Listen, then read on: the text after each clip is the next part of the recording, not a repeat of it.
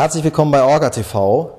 Morgen ist Europatag hier an der Universität des Saarlandes und zwar ein Europatag äh, organisiert vom Atelier Europa von Studierenden für Studierende und zwar ist dieses Atelier Europa hervorgegangen aus einer AStA-Initiative zur Stärkung des Europaprofils. Das eines unserer Themen heute, der Europatag morgen, am morgigen Donnerstag, am 7. Mai hier an der Universität des Saarlandes. Ansonsten hatten wir heute was recht Interessantes, ähm, oder nein, Entschuldigung, diese Woche etwas recht Interessantes in unserer Medienmanagement-Vorlesung, also HR Organisation und Kommunikation, die ja neuer, die, die ja so eine Mischung aus Medienmanagement und äh, ja, Personalmanagement darstellt. Und zwar haben wir uns über Medientheoretiker unterhalten. Diese Medientheoretiker sollen uns dabei helfen, Entscheidungen darüber zu treffen, welche Medien wir zu welchem Zweck im Rahmen von Kommunikationsprozessen in Unternehmen einsetzen. Die Aufgabe der Studierenden ist es, als Hausaufgabe für die nächste Woche, sich zu überlegen, äh, in einem fiktiven Fall für ein Unternehmen sich eine Kommunikationsstrategie zu überlegen, das Kurzarbeit anmelden muss bzw. anmelden möchte. Das heißt, das Unternehmen muss jetzt überlegen, wie wollen wir die Idee, wir müssen Kurzarbeit anmelden, passt ja zur aktuellen Situation in der Wirtschaft, wie wollen wir diese Nachricht, diese Situation sowohl intern unseren Mitarbeitern als auch nach extern ähm, an die Öffentlichkeit tragen. Und die Studierenden sollen dann aus der Sichtweise, aus der Perspektive der Medientheoretiker argumentieren, wie eine entsprechende Kommunikationsstrategie aussehen soll. Da gibt es eine ganze Reihe von Medientheoretikern, die in Frage kommen. Und wir haben zu vielen Medientheoretikern auch kleine Kurzfilme. Diese Kurzfilme wurden vor einigen Jahren auch von Studierenden erstellt und zwei dieser Filme wollen wir uns heute anschauen. Zum einen einen Film über Niklas Luhmann und einen Film über Marsha McLuhan. Beide sehr bekannte Medientheoretiker und mal sehen, was unsere Studierenden sich so vorgestellt haben, wie man deren Ideen filmisch umsetzen kann. Film ab.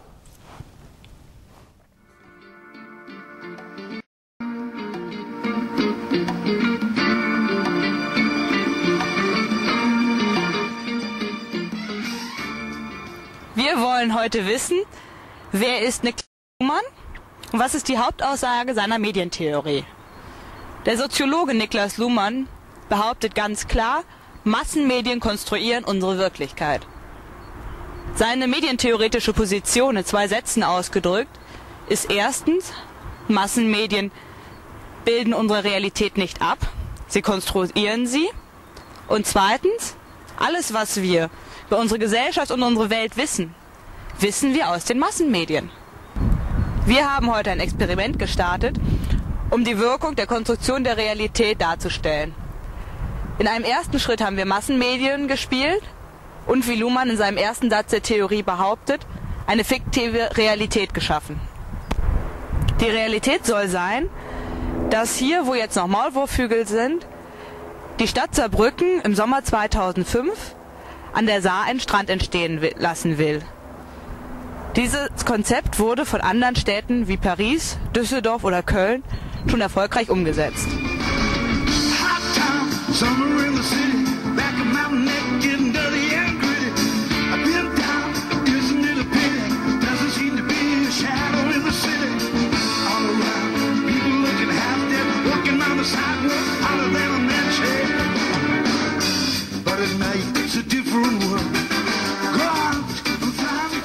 Ist es eher kalt und frostig, hier barfuß zwischen den Maulwurfhügeln zu stehen. Doch Herr Raschke von der Beach Corporation Hamburg verspricht uns Saarbrückern, dass uns das im Sommer 2005 richtig Spaß machen wird, hier am Staden barfuß zu laufen.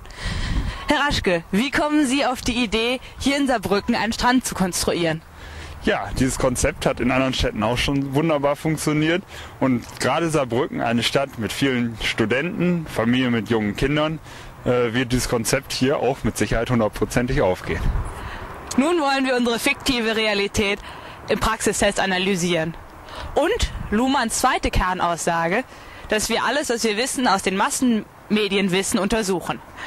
Dies machen wir, indem wir eine kleine Umfrage starten hier am Starten. Dieses Konzept habe ich mir in Großstädten schon gesehen und äh, es hat mich überzeugt. Also ich komme aus Hannover und dort haben wir selber einen Stadtstrand direkt am See und im Sommer macht es einfach Spaß, dort zu sitzen. Ne? Und äh, mal ein kühles Bier trinken Ja. Was wollen die? Das finde ich ein bisschen bescheuert. Also ich habe da im, im SR habe ich schon mal was, was gehört. Im aktuellen Bericht hatten sie, glaube ich, mal was gesagt. Und in der Saarbrücker Zeitung hatte ich es auch gelesen, dass da wohl irgendwelche Planungen äh, schon bestehen, so prinzipiell. Und das fände ich sehr gut. Also, also ich kann mich erinnern, dass wir als, als äh, Jugendliche in der Saar geschwommen sind. Also die Saar soll ja insofern wieder sauber sein. Ne? Guck, dass, dass die Wolken blau sind und die Löcher äh, mit Sand so begraben werden, ja. weil, weil das so eklig, wenn die da sind. So ein bisschen Sand wäre schon auch nicht schlecht. Die Frage ist, ist es wirklich so, wie Niklas Luhmann sagt, dass wir alle unsere Informationen aus den Massenmedien aufnehmen? Fragen wir uns doch mal ganz einfach, woher wissen wir was? Woher wissen wir zum Beispiel, dass 1969 der erste Mann auf dem Mond gelandet ist? Woher wissen wir, was am 11. September 2001 in Amerika passiert ist? Woher wissen wir, dass es einen Irakkrieg gibt und dort täglich Soldaten getötet werden? Woher wissen wir, dass die Haushaltskassen leer sind? Die Antwort auf all diese Fragen ist ganz eindeutig. Wir wissen dies alles aus den Mathematiken. TV Total. Heute unser Alltag. Anders in den 60ern, frühen 70ern. Das Fernsehen pubertierte, alles war aufregend. Man reiste damit zum Mond, schaltete von hier nach dort. Das war seine große Zeit. Marshall McLuhan, den Bildschirm fest im Blick. Ein Prophet der modernen Medien, für deren Wirkung er gerne hübsche Schlagworte fand. Das Produkt ist nebensächlich, das Image ist entscheidend geworden. Was er zu sagen hatte, war neu. Das Medium ist die Botschaft. Damit wurde er berühmt. Das Buch zur Botschaft, selbst ein Tribut an eigenwillige Formgebung, voller Sprüche und grafischer Querschüsse, wirr und doch ein Millionenbestseller. Obwohl im Titel irritierenderweise Medium is the Message zu Massage mutierte. Ein typischer McLuhan-Scherz, den sein eigenes Schlagwort zu langweilen begann. Dabei ging es ihm um eine grundlegend neue Sicht auf die Wirkung von Medien auf den Menschen.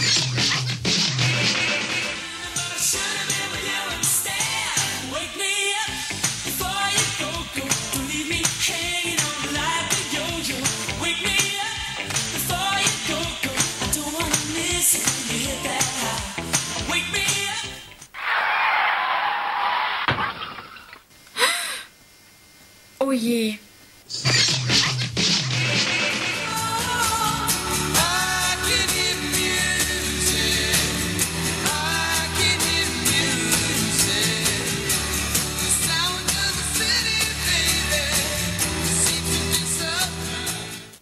gesperrt. Ein Tanklaster war nach einem Unfall von der Brücke gestürzt.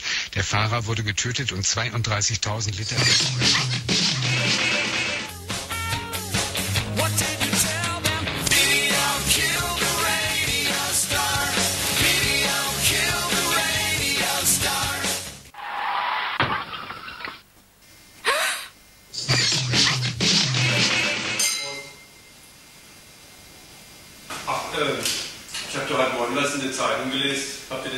Mitgekriegt, da ist äh, auf der Autobahn ein Unfall gewesen mit dem LKW. Also, das hat von euch einer was da mitgekriegt. Ja, ich habe heute ähm, Mittag beim ja. Essen machen, habe ich im Radio rausgehört. Ja.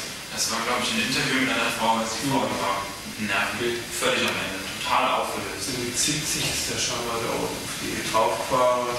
Also, das muss ja furchtbar sein. Bleibt dir nichts mehr, wenn du so. Seit Abend von der Arbeit nach Hause gekommen bin, habe ich einen Bericht im Fernsehen darüber gesehen. Ich denke, das war derselbe Unfall. Ich hab, sie haben Bilder gezeigt. Furchtbar. Der Wucht des Aufpralls muss wirklich furchtbar gewesen sein. Ja, naja.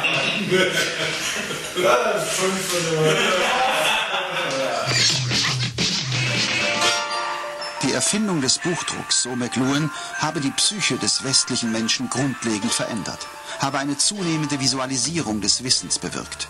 Schon in den 50er Jahren ging McLuhan der Frage nach, welche Wirkung in der Folge die elektronischen Medien auf den Menschen hätten. Mit originellen, nicht immer faktisch belegten Thesen wurde der kanadische Literaturprofessor selbst zunehmend Teil seines Forschungsobjektes und eine Kultfigur. Bei seinen rasanten Gedankenfahrten durch die Welt der Medien verprellte McLuhan viele Akademiker und war auch vielen seiner Studenten keine große Hilfe.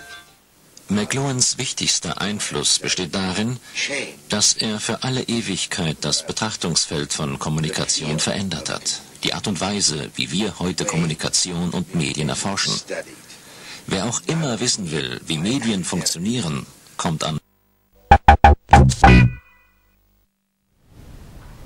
Ja, zwei sehr interessante Interpretationen der Ideen von Niklas Luhmann und von Marshall McLuhan. Die beiden immer wieder zitierten oder die immer am meisten zitierten Sätze der beiden Medientheoretiker. Zum einen, Medien konstruieren Wirklichkeit und das, was wir wissen in der Welt, wissen wir aus den Medien von Niklas Luhmann und die Idee The Medium is the Message äh, von Marshall McLuhan. Zu diesem Thema Medientheoretiker werden diese Woche noch eine ganze Reihe zusätzlicher Filme, also zusätzlicher Medientheoretiker, auf der Orga TV Webseite abzurufen sein. Also wer sich weiter für diese Medientheorien interessiert, auf www.orga.tv gibt es diese Woche noch einige Filme on Demand zum Abruf äh, bereitgestellt. Ich habe was Neues hier im Studio. Ich habe ein bisschen zusätzliche Ausstattung bekommen, einen kleinen Tisch äh, auf dem Tisch ist auch ein schöner Würfel, orga.tv, Saarland University TV steht da drauf. Ähm, der soll mir ein bisschen Gesellschaft hier im Studio leisten, denn wir haben zurzeit das im Studio so geregelt bei Orga TV, wir haben keine Kameraleute mehr. Das läuft alles automatisch. Die Kameras sind voreingestellt und entsprechend die Regie äh, fadet dann die entsprechende Kameraposition, die entsprechende Kamera entsprechend ins Bild ein. Was noch hier auf meinem neuen Tisch liegt, ist dieser Prospekt. Erster Europatag an der Universität des Saarlandes. Ich sagte es ja bereits eingangs der Sendung. Morgen ist Europatag. Morgen, Donnerstag, 7. Mai 2009, der erste Europatag an der Universität des Saarlandes, veranstaltet und organisiert vom Atelier Europa. Das Atelier Europa, auch das sagte ich bereits, ist hervorgegangen aus einer AStA-Initiative und das Ziel des Atelier Europas ist es, den Bezug, den Europabezug der Universität des Saarlandes etwas zu stärken. Dementsprechend haben wir eben morgen diesen ersten Europatag. Ich möchte gar nicht auf so viele Punkte hier im Programmheft eingehen, denn wir haben gleich noch einen Filmbeitrag vorbereitet, wo die Mitorganisatoren zu Wort kommen und entsprechend ein bisschen was über das Programm des Europatags erzählen. Aber es sind eine ganze Reihe von wirklich interessanten Programmpunkten, bis dahin sogar, dass man in der Mensa morgen ab 11.30 Uhr ein Europabuffet bekommt. Also auch bezüglich Mensaessen ist alles ähm, abgestimmt auf diesen Europatag morgen. Und was die Mitorganisatoren des Europatags zu sagen hatten, sehen wir jetzt im Orga-TV-Interview der Woche.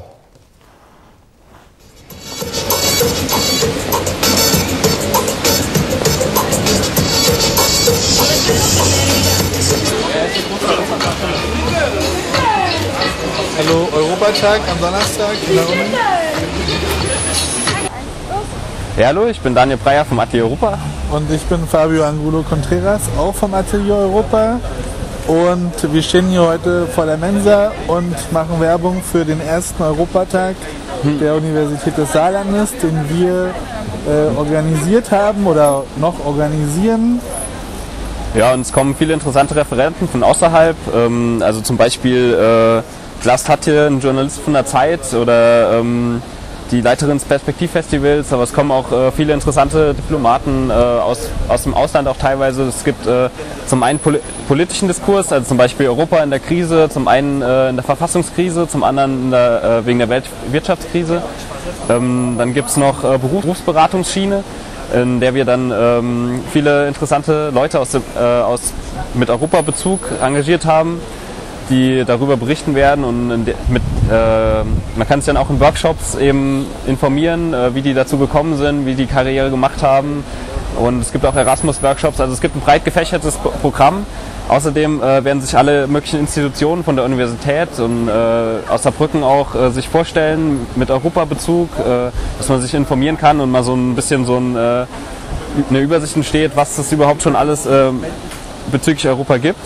Und äh, abends gibt es dann ein interessantes Abschlusskonzert äh, mit, einer, ähm, mit einer Gruppe aus Marseille, die ähm, ja, so Bikern Elektro machen und echt richtig gut sind. Und davor spielt noch eine Brücker Band, äh, so eine Newcomer-Band Zebrastoff heißen die. Und danach legen noch zwei DJs auf, äh, Lamuka Confusa.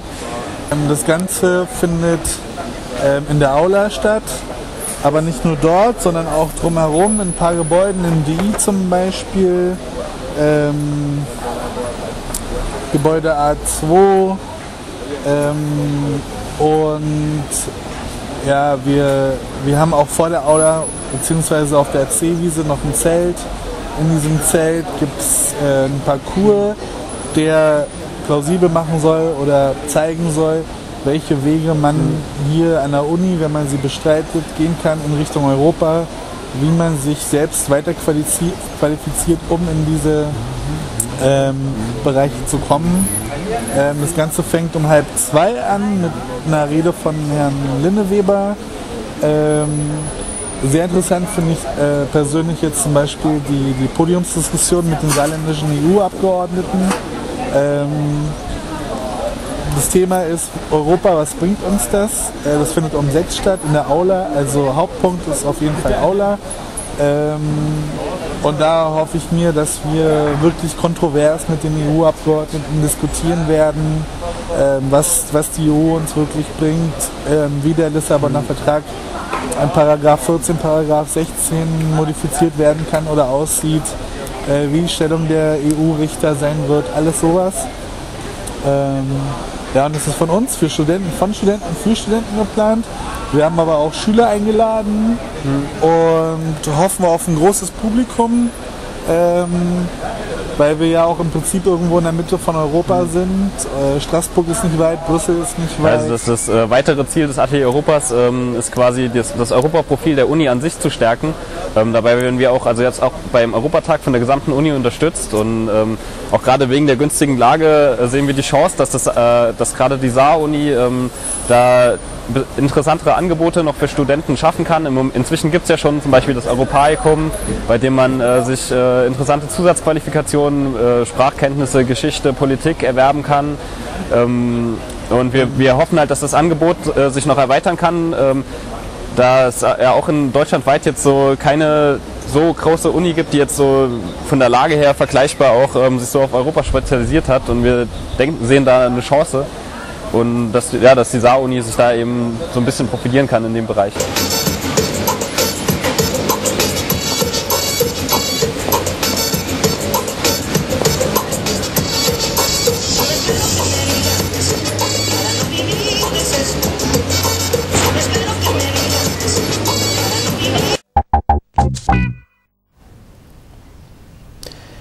Soweit die Mitorganisatoren des ersten Europatages an der Universität des Saarlandes und unsere Empfehlung, die Empfehlung der Woche von Orga TV, dringend das Angebot des Europatages nutzen, also irgendwie die Chance ergreifen, zwischen, nach oder vor den Vorlesungen irgendetwas hier im Bereich äh, des Programmheftes sich auszusuchen. Wenn, und wenn es nur ist, sich wie gesagt ab 11.30 Uhr am Europabuffet in der Mensa entsprechend verköstigen zu lassen. Aber es gibt wie gesagt es wurde im Beitrag schon erwähnt, eine ganze Menge von interessanten Veranstaltungen, seien es äh, Berufskarrieren, die vorgestellt werden, sowohl im Bereich des Journalismus, im Bereich der Rechtswissenschaft, der Wirtschaft oder im Bereich der Wissenschaften generell oder aber auch ents äh, entsprechende interessante Workshops zu der Idee, wo kann man in Europa arbeiten, was kann man als Student entsprechend tun, um Berufschancen in der Großregion zu nutzen, etc. Oder eben dann dem internationalen Abschlusskonzert zu lauschen am Abend. Also es ist wirklich ein sehr buntes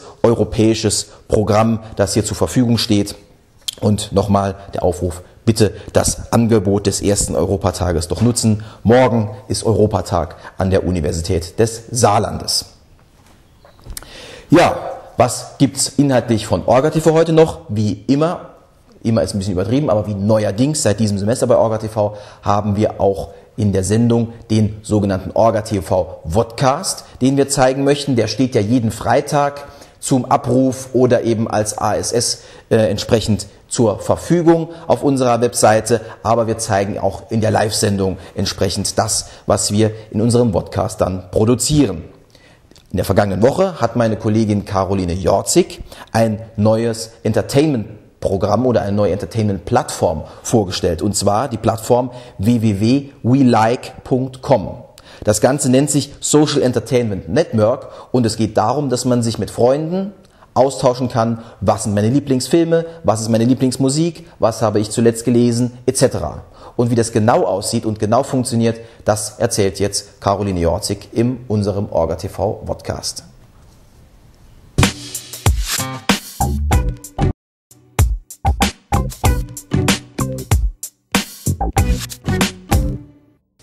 Hallo und herzlich willkommen zum heutigen Orga TV Podcast aus der Universität des Saarlandes. Habt ihr eigentlich eine Ahnung, was Social Entertainment Networks sind? Wenn nicht, dann hört doch heute mal genauer zu. Denn mit www.welike.com stellen wir euch eine Plattform vor, die in diesem Bereich tätig ist. Es handelt sich dabei um einen persönlichen Erfahrungsdienst in dem Bereich Musik, Film und Bücher. Was könnt ihr machen? Ihr könnt viel einfacher dadurch ähm, Filme, neue Musik oder auch neue Bücher entdecken. Wie das genau geht und wie das Ganze aussieht, das schaut euch doch selbst an. Was hörst du? Welche Filme magst du? Welche Bücher hast du schon gelesen? Das ist keine billige Anmache. Nein, so oder so ähnlich könnt ihr nach erfolgreicher Registrierung dann eure Mitmenschen kontaktieren. Als registriertes Mitglied könnt ihr die neue Welt aus Interaktion und Unterhaltung entdecken. Nach der Anmeldung bekommt ihr automatisch Musik, Film und Buchempfehlungen, die speziell auf euch zugeschnitten werden. Teilt in euren Profilen den anderen Usern mit, was ihr gerade hört oder vielleicht auch seht, indem ihr zum Beispiel eure eigene Playlist erstellt. WeLike.com bietet euch die Möglichkeit, mit Menschen zu kommunizieren, die einen ähnlichen Geschmack haben oder euch vielleicht inspirieren. Neben der Funktion einer Social Community bietet die Plattform ein umfassendes Produktangebot im Bereich Film, Musik und Bücher. WeLike.com befindet sich zwar noch in der Beta-Phase, aber verspricht jetzt schon eine große Gemeinschaft von Usern anzusprechen. Aber was ist nun das Besondere an dieser Plattform, was es von anderen Social Communities unterscheidet? Naja, zumindest gibt es eine große Reihe von multimedialer Features, wie beispielsweise Filmtrailer, die man sich anschauen kann, Fotos oder auch Playlisten, die ihr euch für eure Lieblingsmusik anlegen könnt. Seid ihr also bisher planlos durch das große weite Web gereist oder gesurft, dann könnt ihr jetzt mit diesem Dienst euch ein Navigationssystem zumindest für die Bereiche Musik, Film und Bücher anlegen. Ich wünsche euch sehr viel Spaß dabei, denn für jede Freizeitgestaltung sollte man doch ein wenig in diesen Bereichen rumstöbern. Bleibt mir treu und habt noch eine schöne Woche. Tschüss.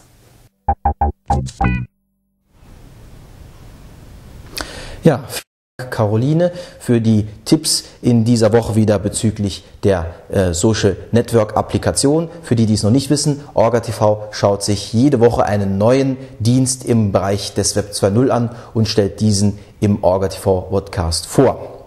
Ja, mir bleibt nur noch so viel, ein paar Tipps für die kommenden Tage äh, ja, zu übermitteln. Zum einen natürlich morgen, ganz wichtig, Europatag auf jeden Fall hingehen, sich das Programm oder zumindest einige Programmpunkte anschauen.